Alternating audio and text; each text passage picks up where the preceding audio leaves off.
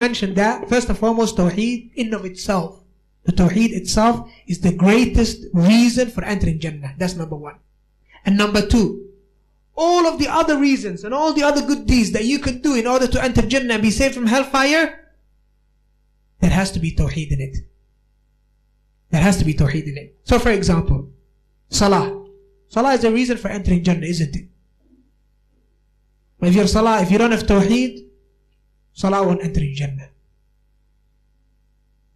Tying the bonds of kinship, one of the reasons for entering Jannah, being saved from hellfire.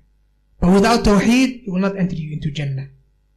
The Shaykh said, if a mushrik, someone who associates partners with Allah in worship, someone who doesn't have Tawheed, if he's from the most kind of people, the kindest of people to his parents, that you can think, that you can think of, and he is someone that is good to all of his relatives.